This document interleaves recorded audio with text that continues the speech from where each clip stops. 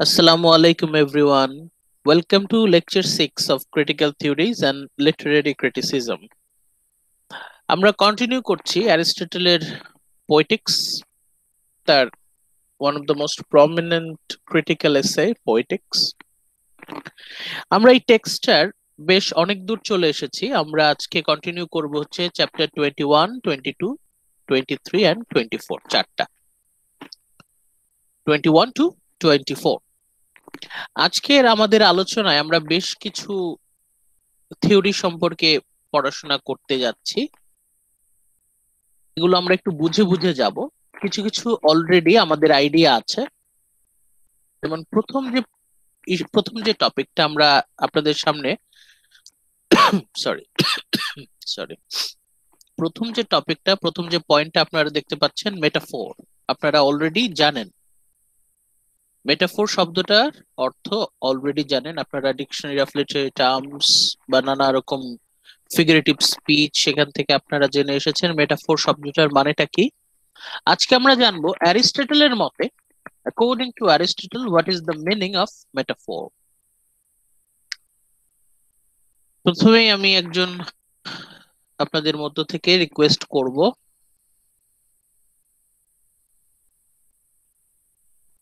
রিয়াদ? রিয়াদ মাহমুদ? জি sir. হ্যাঁ আপনি একটু শুরু করেন আমাদের পক্ষ থেকে metaphor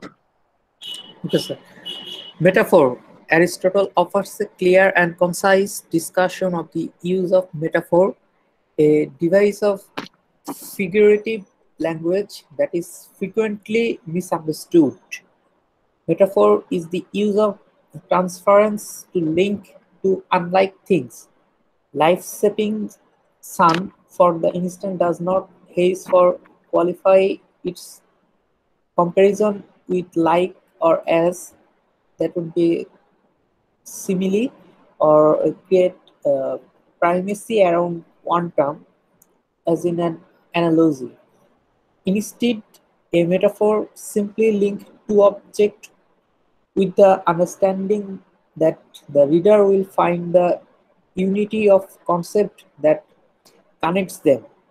Aristotle pointed out earlier in, in the Poetics, we cannot help but imitate as a device for learning. That metaphor offers the clearest device for imitation while also maintaining enough ideo idiosyncrasy syncrasy for the author to engage the reader in his own imagine, uh, imaginative world. Okay Riyad আপনার কি মনে হচ্ছে? প্রথম দুইটা paragraph প্রথম দুইটা প্যারাগ্রাফে আপনার কি আইডিয়া আসছে? যে মেটাফোর সম্পর্কে অ্যাকচুয়ালি কি বলতে চাচ্ছেন? একটু আপনি নিজের মতো করে আমাদের সাথে একটু শেয়ার করেন তো। আচ্ছা মেটাফোর হবে এমন একটা জিনিস যেটার আক্ষরিক অর্থটা বহন করবে না। এর ইনস্টিট এটার জায়গায় দুইটা অবজেক্টকে এটা লিঙ্ক করবে একটা ইমা ইমাজিনেটিভ ওয়ার্ড বা একটা যেটা আর কি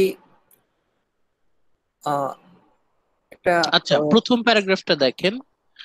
প্রথমে অ্যারিস্টটল বলছেন যে ফ্রিকুয়েন্ট শব্দটা এই ফিগারেটিভ ল্যাঙ্গুয়েজটা ইট ইজ ফ্রিকুয়েন্টলি মিসআন্ডারস্টুড এটা প্রচুর মানুষ এটা ভুল বোঝে। মেটাফোরটার সঠিক অর্থটা তারা জানে না। মেটাফোরটার মানে কি? প্রথমেই অ্যারিস্টটল বলে আসছেন যে এটার অনেক ভুল ব্যবহার হচ্ছে, মানুষ ভুল বুঝছে। ভুল অর্থটা সবাই জানতে পারছে। মিসআন্ডারস্টুড, ভুল বুঝছে সবাই। এই কথাটা কেন বলছেন? এই কথাটা বলছেন এজন্যই কারণ বেশিরভাগ সাহিত্যের পাঠক রিডার অর ক্রিটিক সমালোচক আমরা যাই বলি না কেন, তারা তিনটা বিষয়ের মধ্যে তারা একটু মিক্স আপ করে ফেলেন, গুলিয়ে ফেলেন। Number one analogy number two simile number three metaphor এই তিনটার মধ্যে তারা কনফিউশন সৃষ্টি করে ফেলেন। Most of the critics, most of the critics of aristotle's time, they were confused among these three terms. Analogy, simile, metaphor. Analogy, simile, metaphor. এই দুটো, এই তিনটার মধ্যে আসলে পার্থক্যটা কোথায়? এটার একটা পার্থক্য মোটামুটি ইঙ্গিত এই দ্বিতীয় প্যারাগ্রাফে আছে, দেখি আমরা একটু। মেটাফোর হচ্ছে the use of transference transference to link the use of transference to link to unlike things আমি দুটো খুবই আলাদা, দুটো বিষয় বা দুটো ধারণা বা দুটো বস্তুকে আমরা কানেক্টেড করে দেব, যাদের আপাত দৃষ্টিতে কোনো রকম মিল নেই। অ্যান্ড অ্যাপারেন্টলি আপাত দৃষ্টিতে seemingly they are totally disconnected এমনিতে মনে হবে তাদের মধ্যে কোনো কানেকশন নাই। কিন্তু অ্যাকচুয়ালি তাদের মধ্যে একটা সিক্রেট কানেকশন আছে। There is a secret connection between two seemingly unlike things. তবে শর্ত আছে। শর্ত হচ্ছে দুটো পুরোপুরি আলাদা বিষয় বা ধারণা বা বস্তু দুটোকে একদম অ্যাব্রাপ্টলি কানেক্টেড করে দেওয়া হবে, কিন্তু এদের মাঝখানে কোনো লাইক বা অ্যাজ থাকবে না অর কোন রকম লজিক্যাল ডিসকাশন থাকবে না। সেটা পরে বলা আছে যে it does not hedge your qualified comparison with like or as এই কথাটার মধ্যে কোনো কম্প্যারিজন থাকবে না। লাইক অর অ্যাজ দিয়ে কোনো কিছু থাকবে না। লাইক অ্যাজ যদি থাকে, সেটা সিমিলি যদি কোনো ফিগারেটিভ ল্যাঙ্গুয়েজে যদি লাইক থাকে অ্যাজ থাকে, এই দুটো শব্দের যে কোনো একটা যদি থাকে, সেটা হচ্ছে সিমিলি আর যদি there is a primacy around one term যে কোনো একটা আইডিয়াতে যদি গুরুত্ব বেশি থাকে, ভালো করে খেয়াল করেন। দুটো আপাত দৃষ্টিতে আলাদা দুটো বিষয়ের মধ্যে আমরা কানেকশন তৈরি করছি। কিন্তু এর মধ্যে যে কোনো একটার গুরুত্ব যদি বেড়ে যায় এবং একটা লজিক্যাল অ্যানালিসিস চলে আসে, তখন কিন্তু সেটা আর মেটাফোর থাকবে না, সেটা হয়ে যাবে অ্যানালজি তাহলে অ্যানালজি কিন্তু আলাদা। অ্যানালজিতে বেশিরভাগ ক্ষেত্রে যা হয়, সেটা হচ্ছে দুটো বস্তুর মধ্যে যে কোনো একটা প্রাইমেসি ইম্পর্টেন্স পায়, গুরুত্ব পায়। দুটোর মধ্যে একটা গুরুত্ব পায় এবং এখানে আমরা একটা লজিক্যাল ডিসকাশন পাই। যুক্তি দিয়ে ব্যাখ্যা করা থাকে অ্যানালজিতে আর সিমিলিতে কি দিয়ে ব্যাখ্যা করা থাকে? লাইক দিয়ে অ্যাজ দিয়ে কম্পেয়ার করা হয়। তুলনা করা হয় লাইক অর অ্যাজ দিয়ে। কিন্তু মেটাফোর হচ্ছে just a direct link between two unlike things এই যে যেটা পরে বলা আছে metaphor simply links two object metaphor directly দুটো আলাদা পৃথক বস্তুকে একদম একত্রিত করে দেয় with the understanding that the reader will find the unity of concept এটা দায়ভার কার এটার দায়ভার কবির না it is not poet's responsibility to give logical analysis it is the responsibility of the reader. পাঠকের দায়িত্ব হচ্ছে কেন কবি এই দুটো আলাদা বিষয়কে একত্রিত করে ফেললেন? সেটার মধ্যে কানেকশনটা বুদ্ধি খাটিয়ে, মাথা খাটিয়ে বের করা। সিমিলিতে বুদ্ধি খাটানোর বিষয়টা একটু সহজ, তুলনামূলকভাবে। সেখানে বোঝা যায় সিমিলিতে ইট ইজ মানে বোঝা যায় আর কি। লাইক অ্যাজ দিয়ে দেখা যায় যে তুলনা করা হচ্ছে। অ্যানালজি বিষয়টা আরও সহজ, এটা তো ছোট বাচ্চাদের ক্ষেত্রেও বোঝানো হয়। বিশেষ করে রূপকথার গল্পগুলোতে অ্যানালজি প্রচুর পরিমাণে ব্যবহার হয়। অ্যানালজিও কিন্তু তুলনা।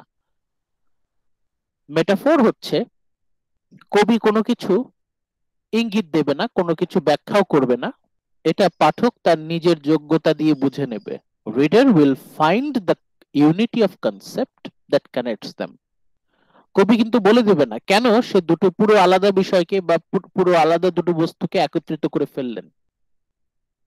কবি, উনি কিন্তু ব্যাখ্যা করবেন না। এটা হচ্ছে পাঠকের নিজস্ব মেধা দিয়ে কিন্তু বের করতে হবে। এরপরে থার্ড পয়েন্টটা কি? Aristotle pointed out earlier in poetics আমরা পোয়েটিক্স এর শুরুতে একটা খুবই জরুরি ধারণা আপনাদের সাথে শেয়ার করেছি, যেটা আপনাদের মিড টার্মের জন্য খুবই খুবই গুরুত্বপূর্ণ। শুধু মিড টার্ম না ভাইবার জন্য খুবই গুরুত্বপূর্ণ। আবার মনে করিয়ে দিচ্ছি। আবার মনে করিয়ে দিচ্ছি। নোট করে রাখেন। We can't help but imitate as a device for learning আমরা সবকিছু ইমিটেট করার চেষ্টা করি। আমাদের হিউম্যান বিং আমাদের মানুষের একটা টেন্ডেন্সি একটা বাতিক হচ্ছে। আমরা সব সময় অনুকরণ করতে চাই। আমরা জেনে অনুকরণ করি, না জেনে অনুকরণ করি। এই অনুকরণটাকে আমরা একটা বিস্তারিত ধারণার মাধ্যমে আলোচনা করেছিলাম, সেটা হচ্ছে mimesis M I M E S I S mimesis আমরা মাইমেসিসের মাধ্যমে শুধুমাত্র বিনোদন অর্জন করি তাই না, শুধুমাত্র এন্টারটেইনমেন্ট পাই তা না, একই সাথে আমরা learning we are educated by it the metaphor এখন মেটাফোর বিষয়টাতে আমরা যেহেতু গুরুত্ব দিচ্ছি metaphor offers the clearest devices metaphor একদম মানে সবচেয়ে সরাসরি এই ডিভাইসটাকে আমরা ব্যবহার করছি ফর ইমিটেশন ইমিটেট করার জন্য। আমরা ইমিটেটটা কীভাবে করছি? আমরা মেটাফোরের মাধ্যমে ইমিটেট করছি। We are imitating through metaphor মেটাফোরের মাধ্যমে আমরা ইমিটেট করছি। সেটা কীভাবে? আমাদের শুরুতে মেটাফোরের একটা এক্সাম্পল দেয়া আছে। Life is setting sun life is setting sun এখানে সাবজেক্ট কি? লাইফ অবজেক্ট কি? সেটিং সান এই দুটোর মধ্যে আমরা পাচ্ছি there is an direct connection এখানে কিন্তু কোনো ব্যাখ্যা নাই, কোন রকম তুলনা নাই, একদম সরাসরি তাদেরকে কানেক্টেড করা আছে। এখন আমাদেরকে মাথা খাটিয়ে বের করতে হবে যে কেন এই কথাটা বলা হলো। It is the responsibility of the reader to find the unity of concept এবং যিনি কবি, তিনি কিন্তু ঠিকই ইমিটেট করে ফেললেন। উনি কিন্তু ঠিকই ইমিটেট করলেন। লাইফটাকে উনি সেটিং সানের মাধ্যমে ইমিটেট করি, করলেন। লাইফটাকে উনি সেটিং সানের মাধ্যমে ইমিটেট করছেন। আমাদেরকে জাস্ট দেখিয়ে দিচ্ছেন। দুটো সিমিংলি ডিফারেন্ট আইডিয়াস থিংস উনি কানেকশন সৃষ্টি করে, উনি কিন্তু মাইমেসিসটা সম্পন্ন করলেন। তাহলে মেটাফোরটাকে একজন কবি কেন ব্যবহার করছেন? দুটো কারণ। কেন একজন কবি মেটাফোর ব্যবহার করেন অ্যাকচুয়ালি তার দুটো কারণ। ভালো করে খেয়াল করেন, মনোযোগ নিয়ে আসেন। কেন একজন কবি মেটাফোর ব্যবহার করেন? Why does a poet use metaphor? There are two reasons reason number one, for imitation, mimesis যেহেতু সকল শিল্পকলার মূল উদ্দেশ্য হচ্ছে mimesis mimesis plus also number two also maintaining enough idiosyncrasy for the author idiosyncrasy মানে কেউ বলতে পারবেন idiosyncrasy মানে কি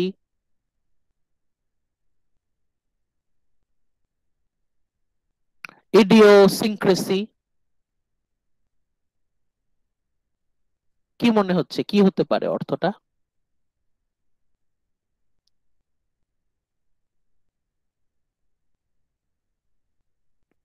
ইডিওসিনক্রেসি মানে এখানে বোঝাচ্ছে হচ্ছে ইউনিকনেস প্রত্যেক কবিরই একটা করে বিশেষ বৈশিষ্ট্য থাকে। স্যার ইন্ডিভিজুয়ালিজম হ্যাঁ ইন্ডিভিজুয়ালিটি ব্যক্তিত্ব। এখানে ইডিওসিনক্রেসি বলতে এটা অনেক সময় প্রত্যেক রাইটারেরই একটা স্পেশাল দিক থাকে না। এটাকে অনেকে পজিটিভলি বলে হচ্ছে ইউনিকনেস আবার অনেকে বলে বলে হচ্ছে তার তার তার তার তার ছেঁড়া। মাথার একটা তার ছেঁড়া স্ক্রু স্ক্রু পড়ে গেছে। মানে তার মধ্যে একটা পাগলামি আছে। প্রত্যেক কবি মূলত কোন না কোনো জায়গায় পাগল। দে আর ম্যাড তাদের যে ম্যাডনেস এটা কিন্তু not ordinary madness this is artistic madness ইডিওসিনক্রেসিকে অনেকে বলে থাকে শৈল্পিক পাগলামি। ইন্ডিভিজুয়ালিটি তো অবশ্যই শৈল্পিক পাগলামি ইডিওসিনক্রেসি এখন একজন কবি তার নিজস্ব যে মেধা তার যে ইউনিক ম্যাডনেস আর্টিস্টিক ম্যাডনেস এই পাগলামিটাকে উনি ব্যবহার করছেন, দেখেন লাস্টের লাইনটা খুব important to engage the reader in his own imaginative world, to engage the reader in his own imaginative world, পাঠককে এনগেজ করা, পাঠককে অংশগ্রহণ করানো, পাঠক তো এমনিতে পারবে না, কিন্তু কবি পাঠককে উৎসাহ দেবে এনকারেজ করবে। In his own imaginative world মেটাফোরের মাধ্যমে আমরা একটু একটু করে কবির মনের ভিতরে প্রবেশ করতে পারি। সে কবি কেমন মানুষ, তার চিন্তা ভাবনা কেমন, ঠিক আছে? তার যুক্তি বিশ্লেষণ কেমন? রবীন্দ্রনাথ ঠাকুর তার মেটাফোরের সিস্টেম একরকম, রবীন্দ্র জীবনানন্দ দাস তার একরকম। স্যামুয়েল টেইলর কোলরিজ, তার একরকম ওয়ার্ডসওয়ার্থ তার একরকম প্রতিটা কবিরই মেটাফোর সৃষ্টির যে ধরন, সেটা ইউনিক আমরা যদি কবিদের এই মেটাফোর তৈরি করার টেকনিকটা জানতে পারি, তাহলে কিন্তু আমরা শুধুমাত্র তার কবিতা যে বুঝতে পারব তাই না, আমরা তাদের মানুষ হিসেবে তাদেরকে আরেকটু ভালো করে চিনতে পারব। তাহলে আপনারা বুঝতে পারছেন মেটাফোর কতটা জরুরি। মেটাফোর বুঝতে পারাটা কতটা জরুরি? শুধুমাত্র কবিতা বোঝার জন্য না in order to understand the poet himself কবিকে বোঝার জন্য এই মেটাফোরটা জরুরি।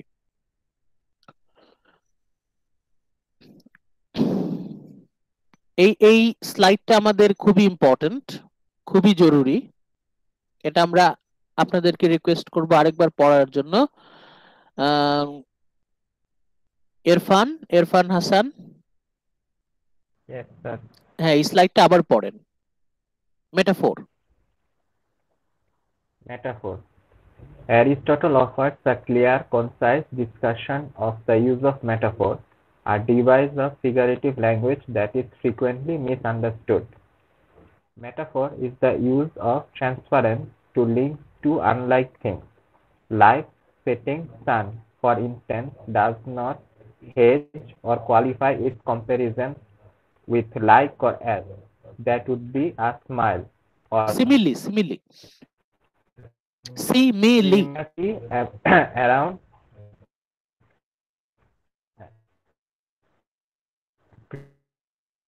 One term. Analog. Analogy. Analogy. Instead, a metaphor simply links two objects with the understanding that the reader will find the unity of concept that connects them. Aristotle pointed out earlier in the Poetics, we cannot help but imitate as a device for learning. The metaphor offers the clearest device for imitation while also maintaining enough idiosyncrasy for the author to engage the reader in his own imaginative world. আচ্ছা তাহলে এখানকার কোন আইডিয়াগুলো আমাদের বেশি করে মাথায় রাখতে হবে? যে অ্যারিস্টটলের সময় বেশিরভাগ কবি তারা মেটাফোরের আইডিয়াটাকে ভুল বুঝতেন। মেটাফোরটা কি তারা বুঝতে পারতেন না। মেটাফোরের ধারণাটাকে ক্লিয়ার করছেন অ্যারিস্টটল তার এই রচনার এই জায়গাটায়। উনি বলছেন, মেটাফোর মানে হচ্ছে দুটো পৃথক ডিফারেন্ট থিংস এটাকে সরাসরি কানেক্ট করে দেয়া। যাদের মধ্যে আপাত দৃষ্টিতে কোনো রকম মিল নাই। আপাত দৃষ্টিতে তারা পুরোপুরি আলাদা, পৃথক ডিফারেন্ট কিন্তু উনি তাদেরকে সরাসরি কানেক্ট করছেন। সরাসরি কানেকশনের মাঝখানে উনি কোনো লাইক অর অ্যাজ ইউজ করছেন না। যদি লাইক অ্যাজ এই দুটো শব্দের যে কোনো একটা তিনি ব্যবহার করেন, তাহলে সেটা কিন্তু আর মেটাফোর থাকবে না। সেটা হয়ে যাবে সিমিলি উপমা সিমিলি উনি কোনো ব্যাখ্যাও করছেন না। যে কোনো একটাতে বেশি গুরুত্ব দিচ্ছেন তাও না। দুটো বিষয়ের মধ্যে দুটোতেই সমান গুরুত্ব থাকবে। যে কোনো একটাতে যদি বেশি গুরুত্ব থাকে, যদি লজিক্যাল অ্যানালিসিস চলে আসে, তাহলে সেটা হয়ে যাবে অ্যানালজি সিমিলি অ্যানালজি এই দুটোর থেকে বেশি রিচ বেশি ম্যাচিউরড ফিগারেটিভ ল্যাঙ্গুয়েজ উনি বলছেন মেটাফোরকে কারণ মেটাফোরের মাধ্যমে পাঠককে উৎসাহিত করা যায়, প্রেরণা দেয়া যায় এনকারেজ করা যায়, যাতে তারা নিজের মেধা খাটিয়ে, নিজের বুদ্ধি খাটিয়ে, এই যে কীভাবে এই দুটো আলাদা, তারা তাদের বুদ্ধি খাটিয়ে বের করবে। এই বুদ্ধি খাটিয়ে বের করতে গিয়েই they will be engaged in his own imaginative world কবির যে কল্পনার জগৎ, প্রতিটা কবিরই এক একটা কল্পনার জগৎ আছে, সেটা কিন্তু আলাদা ইউনিক ইন্ডিভিজুয়াল যেমন অনেকে বলে থাকেন it is artistic artistic madness শৈল্পিক পাগলামি। প্রতিটা কবিরই এরকম পাগলামি আছে, এক ধরনের পাগলামি আছে। সেই পাগলামিটা কি বুঝতে পারলে? তাহলে কবিতার আনন্দ পাওয়া যায়, প্লাস কবিকে চিনতে পারা যায়। রিডার তার একটু মস্তিষ্ক খাটিয়ে, একটু বুদ্ধি খাটিয়ে যদি মেটাফোরটাকে বুঝতে পারে, তাহলে শুধু কবিতা সম্পর্কে সে একটা পরিষ্কার ধারণা পাবে, তাই না? একই সাথে কবি সম্পর্কে একটা ধারণা পাওয়া যাবে। কবির সাইকি সাইকোলজি তার যে মনস্তত্ত্ব, কবিকে আরও ভালোভাবে চেনা যাবে। এই জন্য অ্যারিস্টটল বলছেন যে আন্ডারস্ট্যান্ডিং মেটাফোর ইজ ইম্পর্টেন্ট এখন আপনাদের মিড টার্মে যদি প্রশ্ন থাকে according to Aristotle metaphor is very very important why explain তখন সেটার ব্যাখ্যা আপনি অর্ধেক এই স্লাইড থেকে করতে পারবেন। বাকি অর্ধেক আমরা কোথায় পাবো বাকি অর্ধেক পাবো তার পরের স্লাইডে সুমাইয়া সুমি দেখতে পাচ্ছেন Yes, sir. পড়েন তো metaphor continued Metaphor contribute. A metaphor is not simply a com- comparison of objects, but rather the use of two unlike things in proximity in order Proximity. to proximity proximity proximity in order to illus- illustrate a larger and unified unified concept. আচ্ছা এই একটু পরিষ্কার করে দেই Somaiya. Metaphor কিন্তু শুধুমাত্র দুটো আলাদা বস্তুর মধ্যে তুলনা না। দুটো আলাদা বস্তুর মধ্যে তুলনা হলে ওটা কিন্তু আর মেটাফোর হবে না। ওটা হয়ে যাবে সিমিলি তাহলে মেটাফোরটা কি? মেটাফোর হচ্ছে the use of two unlike things আমরা ব্যবহার করব দুটো পুরো আলাদা বিষয়কে দুটো আলাদা ধারণা দুটো আলাদা বস্তুকে আমরা ব্যবহার করব ইন প্রক্সিমিটি ইন প্রক্সিমিটি মানে হচ্ছে তাদেরকে আমরা একত্রিত করব। We will connect them together proximity শব্দটার বাংলা অর্থ হচ্ছে নিকটে কাছে। মানে দুটো বস্তুকে আমরা কাছাকাছি আনব। এই দুটো বস্তু পুরো আলাদা। একের সাথে আরেকের কোনো আপাত দৃষ্টিতে মিল নাই। কিন্তু আমরা এই দুটো আলাদা বিষয়কে কাছে এনে ফেলব। We will put them in proximity putting in proximity শব্দটার আরেকটা ইংরেজি হচ্ছে পুটিং দেম ক্লোজ টুগেদার তাদেরকে একসাথে আনা। কেন আমরা দুটো আলাদা বিষয়কে একসাথে আনব? To illustrate to portray a larger unified concept কোন একটা বড় ধারণাকে, কোন একটা কোন একটা মহান ফিলসফি কোন একটা বিশেষ আইডিয়া কোন একটা সিক্রেট নলেজ সেটাকে আমরা যখন পোর্ট্রে করতে চাই, তখন আমরা এই দুটো বিষয়কে একসাথে আনি। এমনিতে মনে হবে, দেখে মনে হবে যে একটার সাথে আরেকটার কোনো মিল নাই, কিন্তু I we will put them in proximity we will put them together to portray a big concept একটা ধারণা। একটা ধারণা পোর্ট্রে করার জন্য ইলাস্ট্রেট করার জন্য আমরা এই কাজটা করি। So a metaphor is the use of two different things or ideas or objects close together to portray a bigger greater idea বড় একটা ধারণা স্যার এখানে কি অ্যাস অ্যাজ লাইক ইউজ করা যাবে না। আমরা যদি অ্যাজ ইউজ করি লাইক ইউজ করি, সেটার মেটাফোর থাকবে না। সেটা হয়ে যাবে সিমিলি অ্যারিস্টটল গুরুত্ব দিচ্ছেন হচ্ছে মেটাফোর মেটাফোরই হচ্ছে মানে one of the most effective figurative language যার মাধ্যমে আমরা মাইম মাইমেসিস ইমিটেশন করতে পারি। এবং এটা হচ্ছে সবচেয়ে হাইয়েস্ট কোয়ালিটির ইমিটেশন যিনি যিনি সবচেয়ে ভালোভাবে মেটাফোর ইউজ করতে পারেন, তিনিই কবি। যিনি সবচেয়ে গ্রেট ওয়েতে মেটাফোর ইউজ করতে পারেন, তিনি সবচেয়ে বড় কবি। এই জিনিসটা মাথায় রাখবেন। মেটাফোর যিনি ভালোভাবে ইউজ করতে পারেন, তিনি হচ্ছেন প্রকৃত কবি। তিনি সবচেয়ে ভালোভাবে মাইমেসিস আনতে পারেন। পরেন তো তারপর থেকে the second term The second term in the metaphor, then is sub- subsumed by the first. In the case, for instance, of life's setting sun, the sun becomes part of fictional trope illustrating the ebb and flow of life. আচ্ছা আমরা এই জায়গায় একটু পরিষ্কার করি আমাদের মেটাফোরে দুইটা পৃথক বস্তু থাকবে দুটো পৃথক ধারণা থাকবে দ্বিতীয়টা second term in the metaphor is subsumed by the first আমরা মূলত যে দ্বিতীয়টা দ্বিতীয়টা প্রথমটা, আমরা যদি দ্বিতীয়টাকে ভালোভাবে বুঝতে পারি, তাহলে প্রথমটাকে আরও ভালোভাবে বুঝতে পারব। দ্বিতীয়টার যে গুরুত্ব, সেটা অ্যাকচুয়ালি প্রথমটাকে আরও বেশি গুরুত্ব দেয়। মানে এমনিতে হয়তো বুঝতে একটু সমস্যা হচ্ছে। একটা উদাহরণ দেই। যদি বলা হয়, জীবন হচ্ছে জীবন হলো ডুবন্ত সূর্য।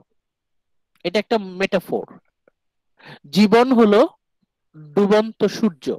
লাইফ ইজ সেটিং সান জীবন হলো ডুবন্ত সূর্য। যে সূর্য ডুবে যাচ্ছে, সেটাই জীবন। লাইফ ইজ সেটিং সান তাহলে সেটিং সান তার সমস্ত গুরুত্ব দিয়ে লাইফকে কিন্তু বোঝাচ্ছে। জীবনকে আমরা যদি সেটিং সানটা বুঝতে পারি, তাহলে কিন্তু লাইফ বুঝতে পারব। Sun becomes part of a fictional trope sun এই সান সূর্য দিয়ে আমরা কিন্তু জীবনকে বুঝতে পারছি। This is part of a fictional trope fictional trope বলতে আমরা একটা রূপ কথা বলতে পারি। Sun is part of a myth illustrating the ebb and flow of life আমাদের জন্মের শুরু থেকে আয়ু কমতে থাকে না? আমাদের জন্মের শুরু থেকে দেখেন আপনার যখন জন্মগ্রহণ করলেন তারপর থেকে প্রতি মুহূর্তে আপনার আয়ু কমছে। যখন সূর্য ডুবতে থাকে তখন কি? সূর্য কমতে থাকে না? সূর্যের আকার ছোট হতে থাকে আস্তে আস্তে অর্ধেক ভ্যানিশ হয়ে যায়। এই জন্যই কবি জীবন এবং ডুবন্ত সূর্যকে সরাসরি কানেক্ট করে দিয়েছেন। এমনিতে হয়তো মনে হবে যে কোথায় সূর্য? কোথায় ডুবন্ত সূর্য আর কোথায় জীবন? একটার সাথে আরেকটার কানেকশন কীভাবে হলো? কিন্তু আমরা যদি একটু ভালোভাবে চিন্তা করি যে ডুবন্ত সূর্য মানে কি?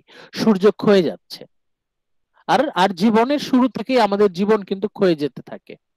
আমরা আস্তে আস্তে ক্ষয়ে যেতে থাকি। মানে আমরা আমরা যখন নিজেরা মাথা খাটাবো তখন কিন্তু আমরা এই মেটাফোরের যে গ্রেটনেস মহত্ব সেটা কিন্তু বুঝতে পারব।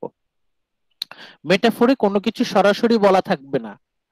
যদি বলা থাকতো life is like setting sun তাহলে সেটা কিন্তু আর মেটাফোর না ওটা সিমিলি হয়ে গেছে আর যদি কোনো গল্পের মাধ্যমে বুঝায় কেউ যে life it is like setting sun because we lose life gradually from the beginning of our life our life it decreases in setting sun the sun also loses its size সূর্য কিন্তু ধীরে ধীরে তার আকৃতি হারাতে থাকে।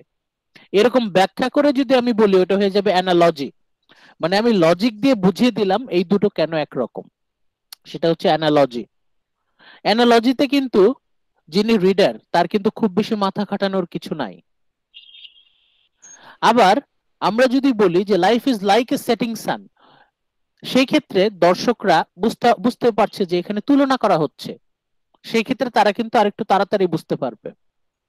সিমিলি আর মেটাফোরের বেলায় যখন আমরা বলে দেব জীবন হলো ডুবন্ত সূর্য, তখন it takes really skillful reader to understand the greatness in meaning কারণ সেক্ষেত্রে পুরো পরিশ্রমটাই কিন্তু পাঠকের নিজে করতে হচ্ছে। এটাই। রিডারকে তার মাথা খাটিয়ে সিক্রেট কানেকশনটা বের করতে হবে। Reader needs to apply himself or herself dedicated to finding the meaning অর্থটা বের করার জন্য রিডারকে পাঠককে তার মস্তিষ্ক মাথা খাটাতে হবে তারপরে পড়েন তো a good metaphor a good metaphor forces us us to actually position the objects together in an imaginary but completely pro probable relationship. And furthermore, a metaphor, unlike a simi smile or analogy, simile, simile or analogy, which establish the primacy of the first term, can easily be reserved. Reversed. After hearing the metaphor, reversed. Reverse মানে হচ্ছে উল্টানো যায় Yes, sir. reversed. After hearing the metaphor of life setting sun, we can then look at the sun and see in its rise and fall the course of life. Metaphors then are more fluid than the rest of figurative language, and hence Aristotle focused on them as the primary device of the good poet. Thank you Aristotle বলছেন যে উনি উনি প্রকৃত কবি, উনি হচ্ছেন সার্থক কবি যে যথাযথভাবে মেটাফোর মেটাফোর ব্যবহার করতে পারেন। যিনি মেটাফোর ব্যবহার করতে পারেন, উনি হচ্ছেন সত্যিকারের কবি, উনি হচ্ছেন সার্থক কবি। কত বড় একটা কথা, দেখেন। অনেক বড় একটা কথা কিন্তু। অ্যারিস্টটল বলছেন যে উনি সার্থক কবি he is a successful poet we can who can successfully use metaphor যিনি সার্থকভাবে মেটাফোর ব্যবহার করতে পারেন উনি সার্থক কবি।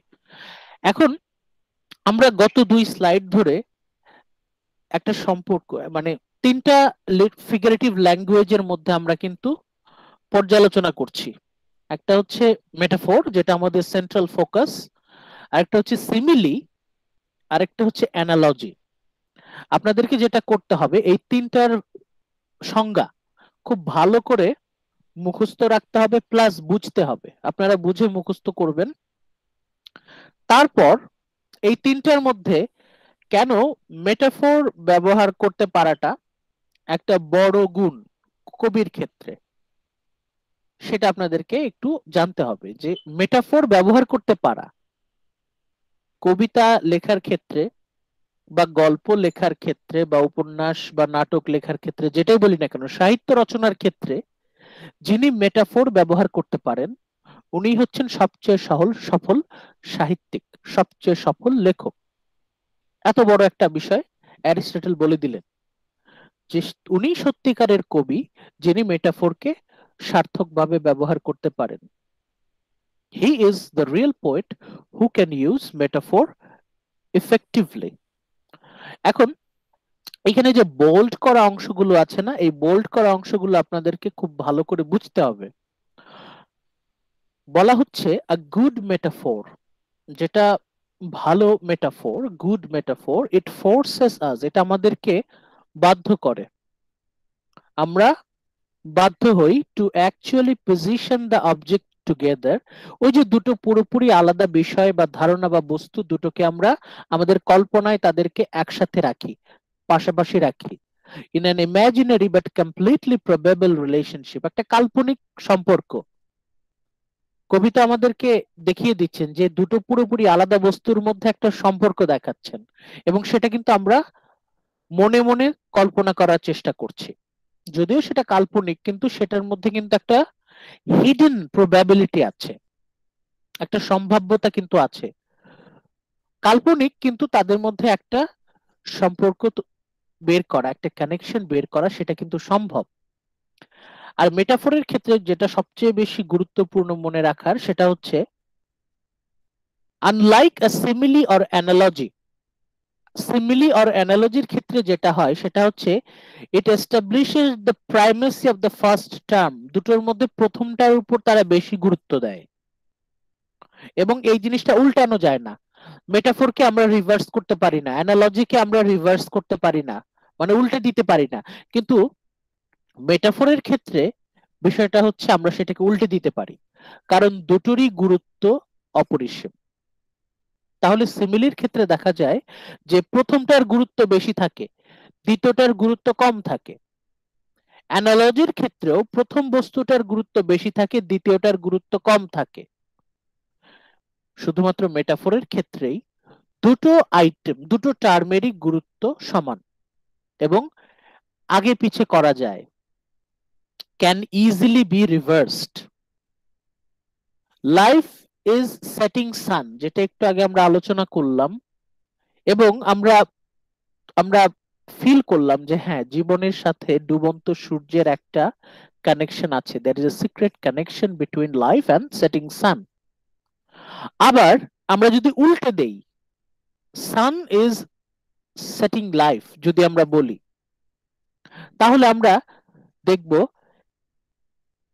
we can then look at the sun আমরা সূর্যের দিকে তাকাই and see in its rise and fall the course of life.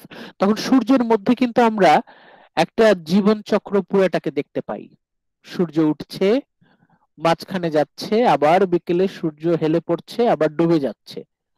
সূর্যের মধ্যেও কিন্তু আমরা জীবনকে দেখতে পাচ্ছি, তাই না? জীবনের মধ্যে সূর্যকে পাচ্ছি, আবার সূর্যের মধ্যেও জীবনকে পাচ্ছি। We find sun in life and we we also find life in sun দুটোর মধ্যেই কিন্তু সমান গুরুত্ব। এটাই হচ্ছে মেটাফোরের স্পেশালিটি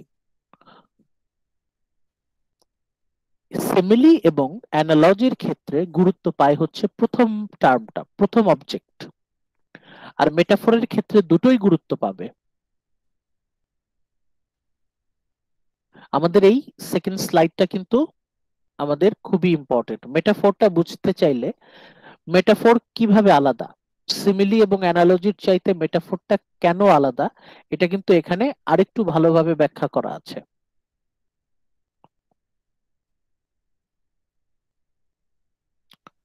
নূর ইসলাম দেখতে পাচ্ছেন? Yes, sir. হ্যাঁ এই স্লাইডটা আবার পড়েন তো। মেটাফোর কন্টিনিউড এটা আবার পড়েন। ওকে sir. A metaphor is not simply a comparison of object, but rather the use of two unlike things in proximity in order to illustrate a larger, uh, unified concept. The second term in the metaphor then is sub, uh, subsumed by the first in the case, for instance, of life's setting sun. The sun becomes part of a fictional trope illustrate the ebb and flow of life. A good metaphor forces us to actually position the object together in an imaginary but completely uh, probable relationship. And furthermore, a metaphor, unlike a simile or analogy, which establish the primary of the first term. Primacy primacy primacy মানে হচ্ছে গুরুত্ব significance importance Okay, sir. The primacy of the first term can easily be uh, reversed. Uh, after hearing the metaphor of life setting sun, we can then uh, look at the sun and see in its rise and fall the course of life. Metaphors then are more fluid than the rest of uh, figurative language, and hence Aristotle focus on them as the primary device of the good poet. Thank you আমাদের এতক্ষণ ধরে যে দুটো slide নিয়ে আমরা আলোচনা করছি এটা তো আজকে আমাদের লেকচারের প্রথম গুরুত্বপূর্ণ টপিক মেটাফোর আমরা মেটাফোরটাকে বোঝার চেষ্টা করছি তাহলে মেটাফোরটা কি? খুব সহজে যদি আমরা বোঝার চেষ্টা করি মেটাফোর হচ্ছে দুটো সম্পূর্ণ আলাদা বস্তুর মধ্যে সরাসরি সম্পর্ক স্থাপন করা। এর মধ্যে আমরা কোনো অ্যাজ ইউজ করব না, কোনো লাইক ইউজ করব না। যদি অ্যাজ অথবা লাইক ইউজ করি, সেটা হয়ে যাবে সিমিলি সিমিলিটা এটা ব্যবহার করা সহজ। অ্যানালজি অ্যানালজি ব্যবহার করা সহজ, কারণ সেক্ষেত্রে আপনি নিজেই লজিক্যাল বিশ্লেষণটা দিয়ে দিচ্ছেন। যৌক্তিক বিশ্লেষণ লজিক্যাল অ্যানালিসিসটা আপনি দিয়ে দিচ্ছেন। দর্শককে, পাঠককে রিডারকে ততটা বেশি মাথা কাটাতে হবে না। কিন্তু আপনি যদি কোনো রকম ব্যাখ্যা না দিয়ে কোনো রকম তুলনার ইঙ্গিত না দিয়ে, যদি সরাসরি দুটো আলাদা অ্যাপারেন্টলি ডিফারেন্ট দুটো বস্তুকে যদি আপনি কানেক্ট করে দেন, তাহলে পাঠককে কিন্তু তার ব্রেন খাটাতে হবে। Reader must apply his intellectuality to understand the meaning যে কেন কবি এই দুটো আলাদা বস্তুটাকে একত্রিত করে ফেললেন? কবি বলে দিল যে লাইফ ইজ সেটিং সান জীবন হচ্ছে অস্তমিত সূর্য। এখানে কিন্তু কোনো জীবন হচ্ছে অস্তমিত সূর্যের মতো, অথবা কেন জীবন অস্তমিত সূর্যের মতো তার ব্যাখ্যা কিন্তু এখানে না, নেই। কবি সরাসরি বলে দিয়েছেন লাইফ ইজ সেটিং সান এখন পাঠকের দায়িত্ব হচ্ছে সেটাকে নিজেকে অ্যাপ্লাই করা, তার ব্রেন অ্যাপ্লাই করে কানেকশনটা বের করা। একদিকে হচ্ছে জীবন, আরেকদিকে হচ্ছে সূর্য। এই দুটোর মধ্যে কানেকশনটা কি? আমরা যদি আমরা যদি একটু কল্পনা করি, তাহলে দেখব যে হ্যাঁ আপাত দৃষ্টিতে জীবন এবং সূর্যের মধ্যে কিন্তু কোনো কানেকশন আমরা পাচ্ছি না। কিন্তু আমরা যখন ভাববো যে হ্যাঁ তাই তো? সূর্য ওঠার পর থেকে যেমন সূর্য উঠছে, সূর্য যখন উঠতে থাকে তখন সেটা কুসুম কুসুম। আস্তে আস্তে সূর্যটা মাথার উপর যখন উঠতে থাকে তখন সেটা কড়া সূর্য। বিকেল বেলা সূর্য হেলে যায়, তখন সূর্যটা নরম হয়ে যায়। আবার সন্ধ্যাবেলা আস্তে আস্তে আস্তে সূর্যটা অদৃশ্য হয়ে যায়। তার মানে আমরা যদি বলি life is a setting sun তাহলে সেটার মানে কি দাঁড়ায়? যে সূর্য যেমন ডুবছে ডুবন্ত সূর্য। একটা জিনিস নিশ্চিত যে সূর্য তার ডুবে যাবে। আর জীবনের ক্ষেত্রে একটা জিনিস নিশ্চিত যে সে মারা যাবে। যে জীবন্ত one thing is sure that that person will die তাহলে সেদিক থেকে আমরা কিন্তু লাইফের সাথে সেটিং সান একটা কানেকশন পেয়ে যাচ্ছি। আবার এটাকে যে আমরা উল্টে উল্টে দিতে পারব, যেটা আমরা সিমিলি বা অ্যানালজির ক্ষেত্রে পারব না। সিমিলি অ্যানালজি এটা একদিকে যায়। যে কোনো প্রথমটা মূলত প্রথম বস্তুটার উপর গুরুত্ব বেশি থাকে। আর মেটাফোরের বেলায় হচ্ছে দুটোতেই গুরুত্ব সমান। আমরা যদি উল্টে দেই, তাহলে আমরা যদি সূর্যে আসি, তাহলে কিন্তু সূর্যের মধ্যেও আমরা কিন্তু জন্ম, মৃত্যুর যে চক্র, সেটা কিন্তু খুঁজে পাবো। সকালবেলা, ভোরের বেলা আমরা সূর্যের জন্ম দেখতে পাচ্ছি। তারপর সূর্যের শৈশব, কৈশোর, যৌবন, প্রৌঢ়, বার্ধক্য, মৃত্যু। আমরা কিন্তু সূর্যের মধ্যে জীবনটাকে দেখতে পাচ্ছি, তাই না? বলেন? দেখতে পাচ্ছেন না? সূর্যের মধ্যে আমরা জীবনকে দেখতে পাচ্ছি। এটা একটা গেল। আবার এটাকে যদি আমরা উল্টে দেই, তাহলে জীবন হচ্ছে ডুবন্ত সূর্য। সূর্য যেমন ডুববেই, ডুবে যাবে। প্রতিটা জীবন্ত মানুষ কিন্তু মৃত্যুবরণ করবে। এই যে মেটাফোরের মাধ্যমে, এই যে গ্রেট আইডিয়া গুলো আর্টিস্টিক ওয়েতে প্রেজেন্ট করা যায়। এই জন্য অ্যারিস্টটল বলছেন যে তিনি সার্থক কবি যিনি সফলভাবে এবং যথাযথভাবে মেটাফোরটাকে ব্যবহার করতে পারবেন। সিমিলি ব্যবহার করা সহজ। সিমিলি যে কেউ ব্যবহার করতে পারে, অ্যানালজি যে কেউ ব্যবহার করতে পারে, যে কেউ বুঝতে পারে, কারণ সেখানে ব্যাখ্যাটা দেয়া থাকে। অ্যানালজিতে পুরো ব্যাখ্যাটা দেয়া থাকে। আর সিমিলিতে অ্যাজ লাইক এরকম দেয়া থাকে। সেক্ষেত্রে কিন্তু মেটাফোরটা বুঝতে পারা একটু কঠিন। কবি কিন্তু পুরোটা পরিষ্কারভাবে বলে দেবেন না। কথার মধ্যে একটা হেয়ালি থাকবে, একটা অস্পষ্টতা থাকবে। এই যে হেয়ালি, অস্পষ্টতা, এটাকে আমরা গত স্লাইডে বললাম আর্টিস্টিক ম্যাডনেস ইডিওসিনক্রেসি কবি, প্রতিটা কবিরই একটা করে একটু পাগলামি থাকে এবং সেই পাগলামিটা উনি অ্যাপ্লাই করেন তার কবিতায়। কবিতায় আমরা দেখতে পাই যে সম্পূর্ণ আলাদা দুটো বস্তুকে হঠাৎ করে কোনো কথা নাই, বার্তা নাই কানেক্ট করে দেয়া আছে। পাঠকরা পড়তে গিয়ে হোচট খায়। কি ব্যাপার? এরা তো দুজন সম্পূর্ণ আলাদা। এদেরকে কেন একসাথে রাখা হলো? যারা সত্যিকার অর্থে যাদের সাহিত্য বোঝার ইচ্ছা আছে, তারা কিন্তু মাথা কাটাবে মাথা কাটিয়ে দেখবে, আরে তাই তো? কি গভীর একটা কথা বলে গেল কবি। এবং এই মেটাফোর ইউজ করা হচ্ছে সবচেয়ে successful mimesis the most successful imitation তার মানে যিনি মেটাফোরকে এফেক্টিভলি ইউজ করতে পারবেন, উনি সবচেয়ে সাকসেসফুলি মাইমেসিস আর ইমিটেশনটা সম্পূর্ণ করলেন এবং তাকে আমরা সবচেয়ে সফল কবি বলতে পারি। তার মানে আমরা আলটিমেটলি আমাদের লেকচারের ফার্স্ট পার্টটাকে কীভাবে কনক্লুড করতে পারি? একটা শর্ট কোয়েশ্চেন একটা শর্ট কোয়েশ্চেন আমরা বলতে পারি। Aristotle said that Aristotle said that the poet who can apply metaphor effectively he is a good poet